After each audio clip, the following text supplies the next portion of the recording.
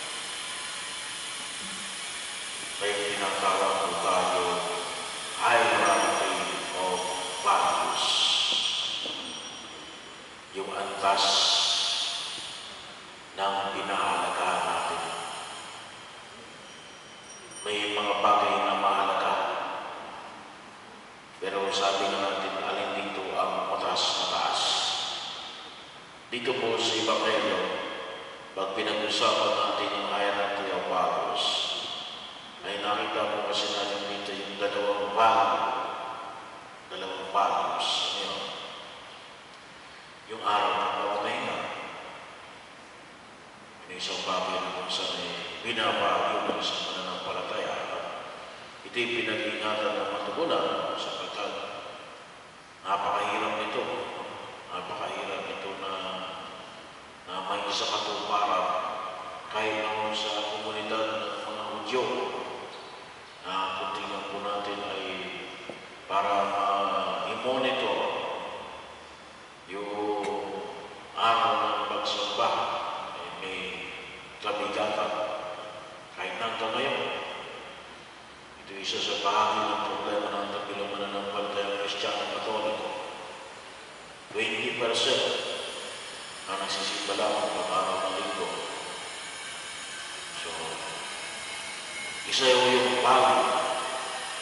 baby shark.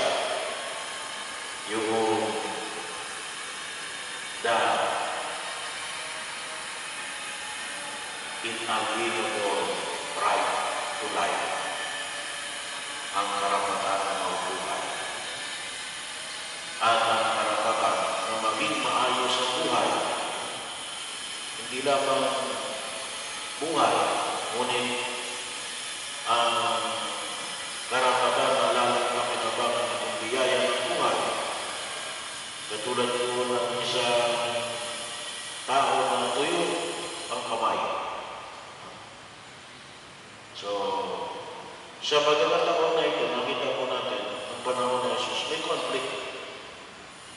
May conflict. Kasi bakit? Yung araw ng prophet niya, hindi ka pwedeng gumawa. Sabi mo sa inyo, kahit na magsalang bawal.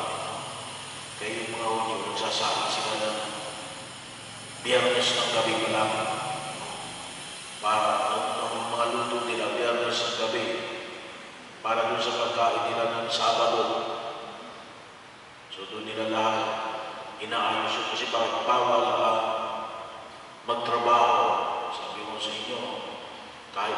Lord ay nagsalukuyan na ng, ele- ng anumang uri ng electric gadgets ay bawal.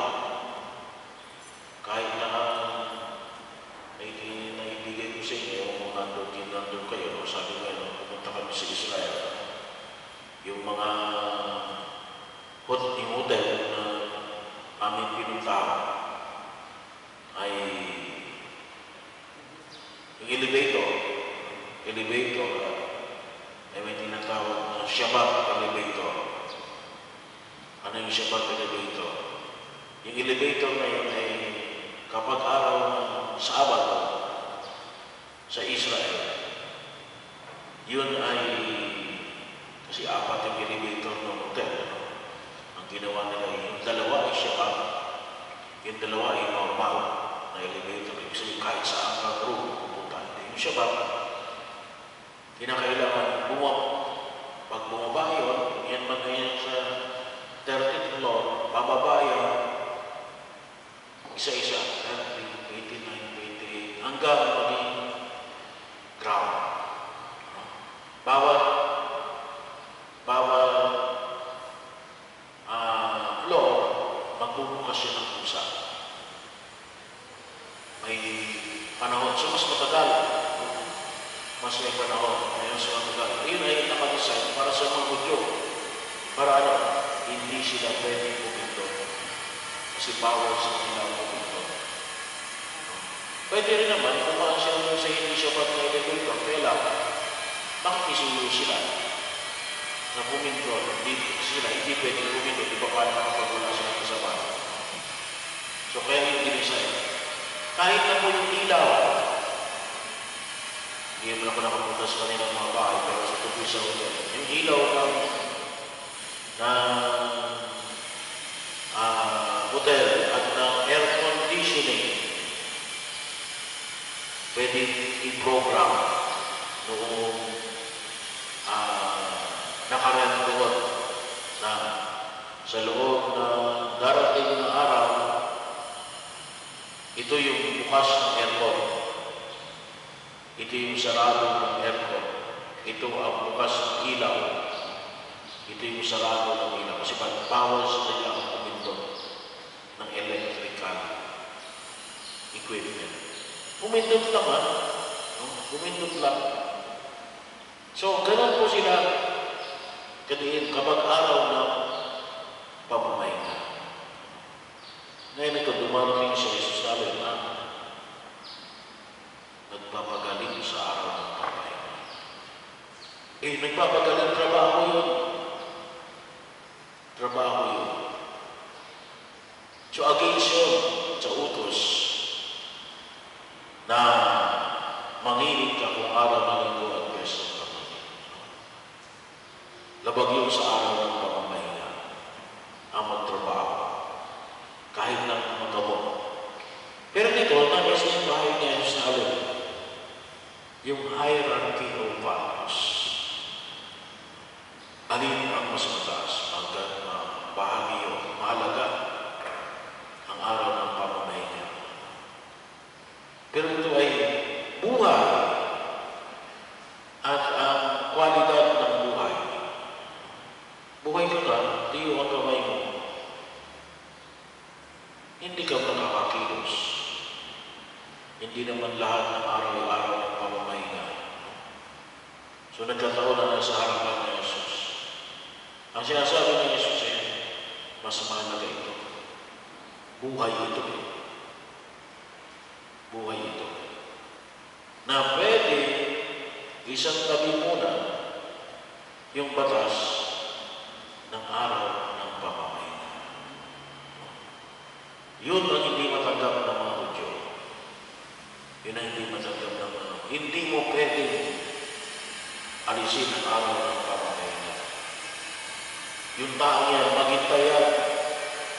Bukas ang pagaling. No? Kaya sa hindi. Ngayon pagaling. Kasi bakit? Kaya yung tanong na yun, naparito ang anak ng tao, ano ba yung kagustuhan ng Diyos? Yung magbigay ng buhay, magligtas, o hindi. It, it, is a challenge. Presents itself na makapagkawa ng mabuti. Mo pa ipagpapabukas? So nais niya rin mabigyan ng tinalin. Hindi lamang po ito ay pagtingin sa hierarchy of values na nagpapahalaga sa buhay. Ngunit ito rin ay nagpapahayag alin na ito ay nawang makita na ang araw ng pamamahinga ay ginawa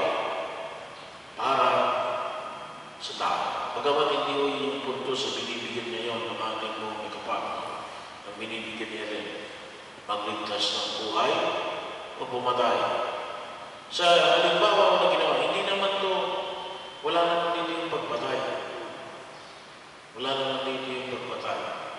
Wala clear. Kaya lang, sabi nga, kapag tiyo ang kamay, eh paano ka mabubuhay ng maayos?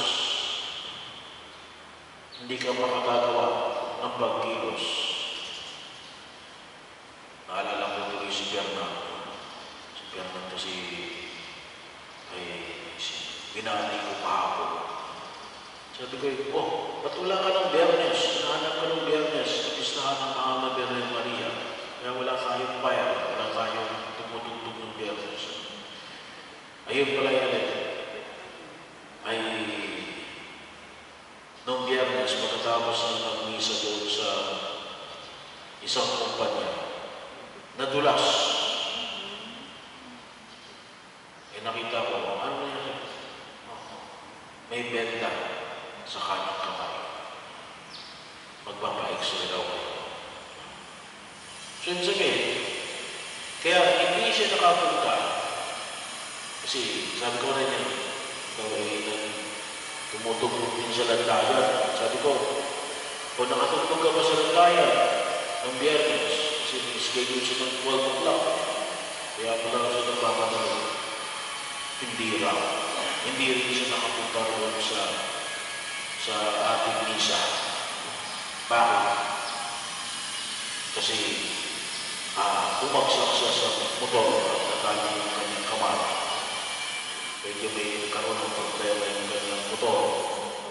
So, ibig sabihin yun, no? hindi pa tayo yun. May damage pa lang. Hindi niya pa alam kung may bali. Kasi ngayon pa lang niya ipa-x-ray. Eh, nilalang niya yung kamay. Baka kapag sinabi tayo kami, hindi natin alam kung yung buong bang kamay ay hindi niya magalaw. Kasi tayo eh. Or parang pingkaw. Hindi niya maiganon. Ganun na lang.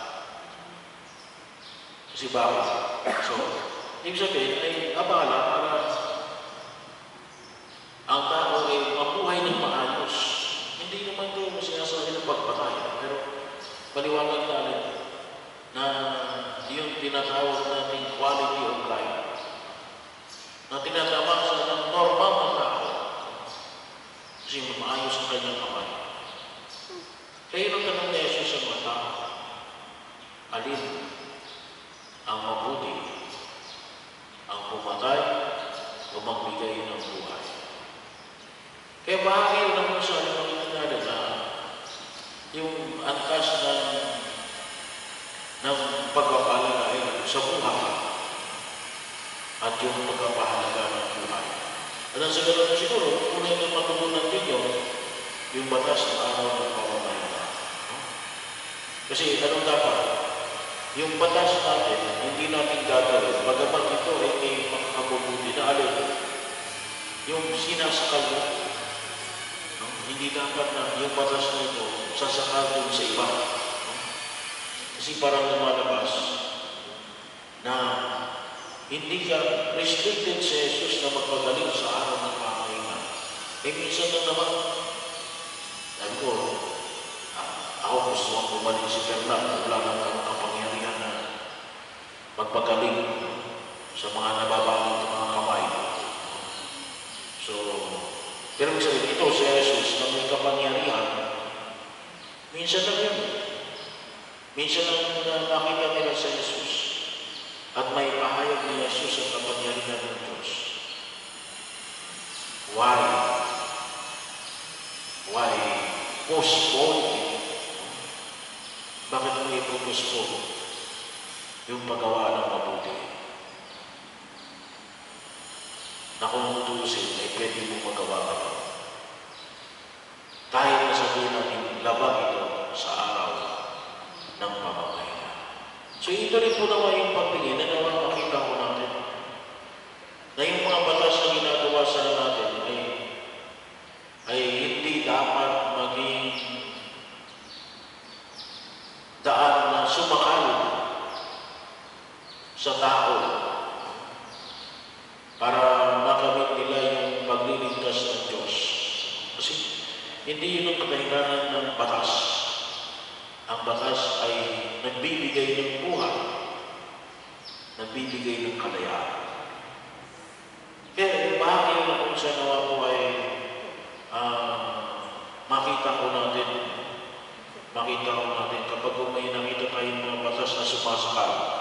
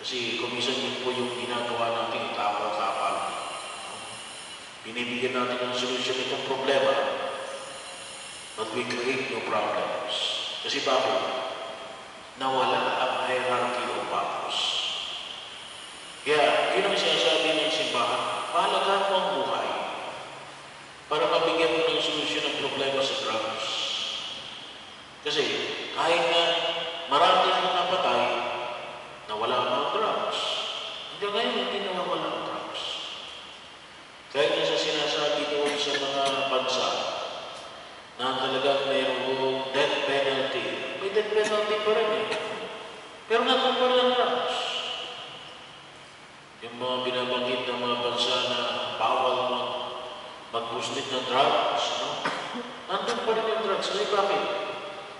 Hindi solusyon yung pagpatay. Hindi solusyon yung pagpatay. Nawa makita mo na uh, yung, yung higit na malawak nating pag-iisip ay magbigay sa atin ng higit na pagtugon. At sinasabi ni Jesus na alin, mas mainam na pagtugon sa problema na hinaharap ng lipunan. Pero ito yung binibigyan ng pansin, yung priority ng pagkakahalaga sa buhay na kung tusin niya rin is of a higher value rather than anything. Iyon yung papakaya natin bilang ano ng Partay Kristiyano Katoliko. Ang alin, sa ating pagkina at maging sa moral law, ay alin, sa legal law. Any law is suspended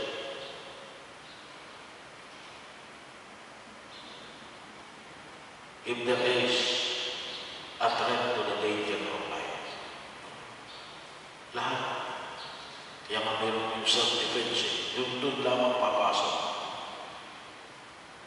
Eh, napatay ko kasi dinipensahan ko yung buhay. Hindi ko gusto patayin siya. Nagkataon lang sa pagdepensa ko ng buhay. Kaya ako lang siya napatay. Pero hindi ko siya gusto patayin. Any law is suspended for yung pagpapahalaga sa buhay ng tao. Kasi yun ang mahalaga. Mahalaga yung buhay. Yung traffic, pwede mo suspend yung batas ng traffic na iligtas mo lamang yung bata. Pagkamat na sabi natin, sabi natin ay, ay, go ako eh. Nakalagay sa, ako eh, may bata sa gitna. Didiretso ka? Hindi. You have to suspend the law, yung traffic law. Kasi bakit? Buhay ang pinag-uusapan eh. Buhay ang pinag-uusapan. Pero, yun po yung nawa makita natin. All laws is suspended. All. Pag pinag-usapan natin ang buhay. Kasi yun ang tinatawag natin. Hindi lang ito, ah, kung tawagin natin ay values, mahalaga ito, mahalaga ito, mahalaga. Nakita rin natin yung ulit. Priority of values. Priority of values. Dito, nakita natin ulit, kapag pinag-usapan, ang buhay at ang pagpapahalaga sa buhay versus araw ng pamahinga, ah, ang dapat mauna ay buhay.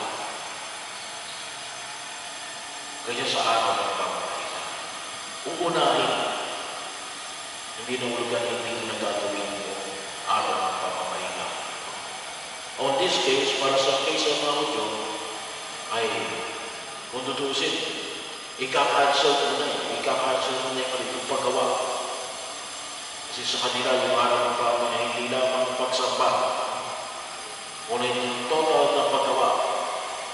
Sa ating pong mga katolikong kristyano, pinapayagan tayo na magtrabaho ng pag-araw ng linggo. No? So, ah, pwede tayo magsabi. No?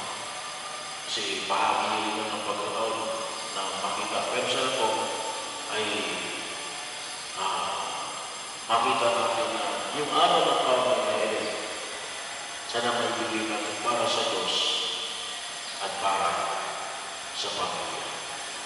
Pero kapag ito ay dumating sa pagkataon na pinag-usapan na ay nag-cross sila ng linya kapag pinag-usapan ng buhay, uunahin ang buhay. Halimbawa, magsisimba ka. Nakita mo yung isang tao ay inaatake sa puso. So, anong gagawin? Tutulungan mo siyempre yung tao na atake sa puso. Kung magagawa ka na, magagawa mo ng paraan. Ay, hindi ako masimba. Pwede. Well, baka naman may susunod ng isa. Pero, hindi mo pwedeng sabihin na, hindi ko tinulungan yung tao minatake ng puso kasi sisimpa ako. Huwag natin gawin panangkalan yung araw ng pamamahinga na para hindi tayo makatulong sa ating kapwa. Kaya maliwanag yung tanong ni Jesus. Ano ang mahalaga? Ang pumatay o ang magbigay ng buhay? Ang gumawa ng tumulong o ang gumawa ng masama sa araw ng pamamahinga? Itulong natin sa harapan ng pamamahinga kapalo. Nanawa makikita natin yung alin, hindi lamang yung Christian values, pero sana po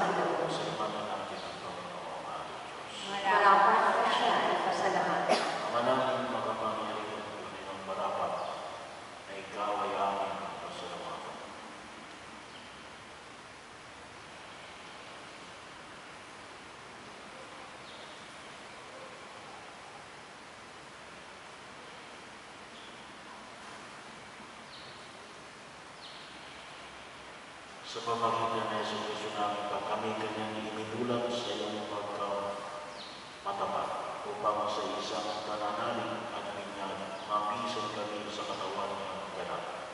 Siya ang nagbigay sa lahat ng tao ng iyong kalooban ng Espiritu Santo sa iba't ibang pagkikarito upang sa lahat ay magkaisa sa iyo. Siya ay nananahan sa mga kapitan sa iyong sambayanan bilang pinagaya. Kaya mga anghel na nagsisiyawin ng papuri sa iyo ng walang hukay sa katangalan. Kami nagdudumi sa iyong. Santo, Santo,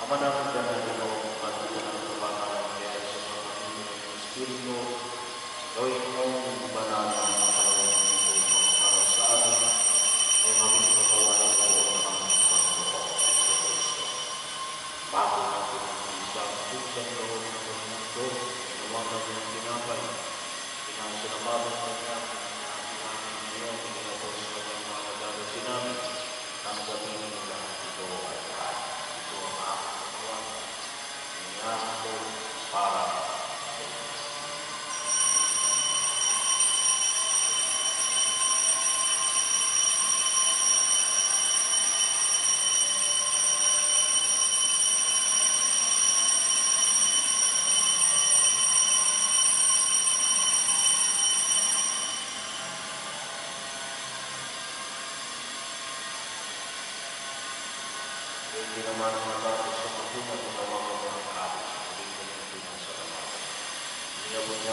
you.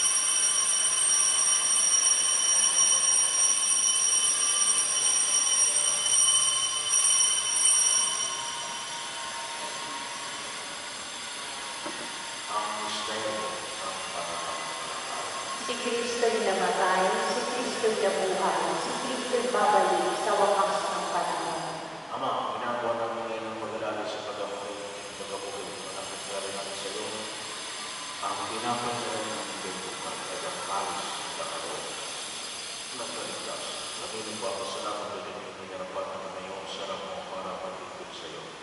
Iya'y sinasama namin sa kanyang sasalo sa amin at nawa ng ito ni Kristo ay matuglod sa pagkakaisa sa papamitan ng Espiritu sa atin. Ama, Ingapin mo ang simbahan na namin sa pagkakitin kung sino ka sa pag-ibig. Kaya isa ni Francis de Bonaventura, anak ka ng kaparihan. Alalahan ko rin ang mga kapatid namin na dahil